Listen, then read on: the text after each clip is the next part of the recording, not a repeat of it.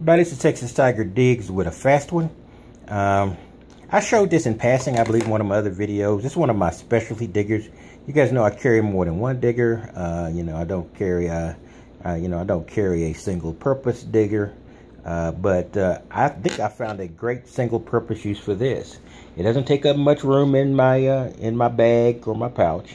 It's very angular, and what I found is it is one of the best coin poppers I've seen. I can go relatively deep with this and pop it.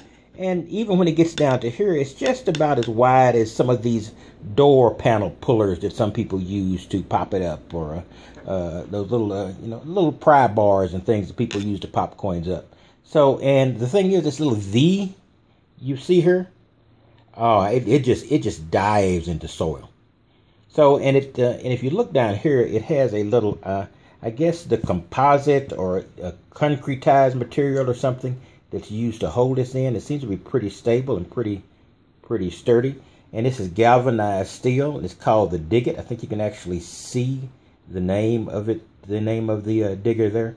And I just wanted to say this. This I'm I'm don't really see many occasions in my area where a lot of my targets are not deep. There are some that are very deep and steel clad, and there are some that aren't so deep in some parks. And I think this will be pretty good.